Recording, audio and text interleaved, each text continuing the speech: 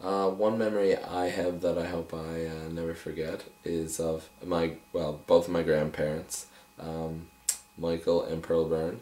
Pearl died almost a year ago this month, I think on the 21st of November.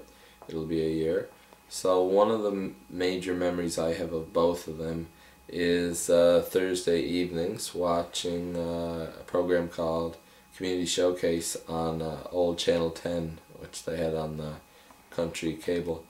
And it was, for those who don't remember it, it was had like old time PEI music and history and stuff about farming, just kind of for older people PEI, I guess.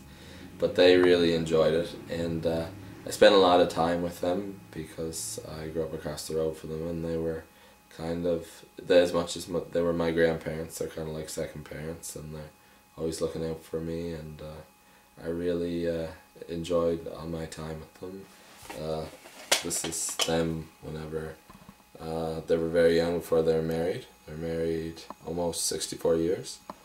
So the I guess to end the memory I hope I never forget is the one of being with my uh, grandparents and just talking to them and um, and Thursday evenings watching Community Showcase.